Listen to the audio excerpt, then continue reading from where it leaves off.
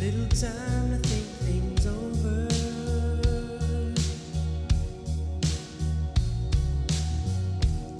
I better read between the lines in case I need it when I'm older.